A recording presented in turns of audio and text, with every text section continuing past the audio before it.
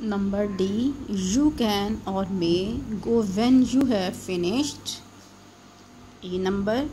You can, may ask whatever question you have. Next. You must not smoke in the kitchen. G number. From his accent, he could be from Toronto. Age who can it be? It can't be the postman. I. The weather could or may be hotter tomorrow. J. Can you dance? After J, you have K.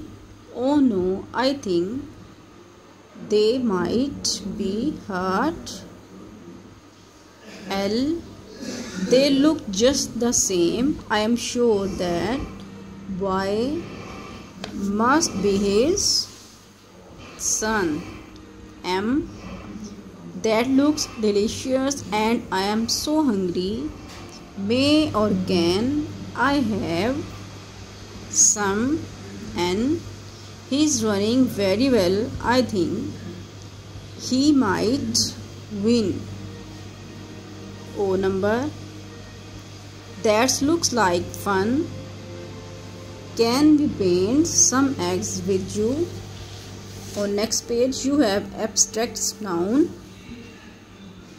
Abstract nouns express ideas, concepts or qualities that cannot be seen or experienced. We cannot see, hear, touch, taste or smell these concepts Example of abstract noun include liberty, anger, freedom, love, generosity, charity and democracy.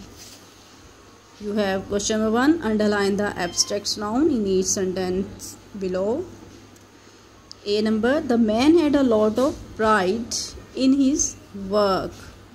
Pride is a abstract noun so you will underline it. Next b. I respected the honesty my friend show my friend showed. C number. Can you believe that woman's brilliance brilliance is a abstract noun? T number. To my delight everyone arrived on time. Delight is a abstract noun E number. She was in great despair when she lost her phone. Despair. F. We have a lot of hope for the future. Hope. G. They showed extreme joy when they helped other joy. H. The men had much bravery on the battlefield. Bravery. I.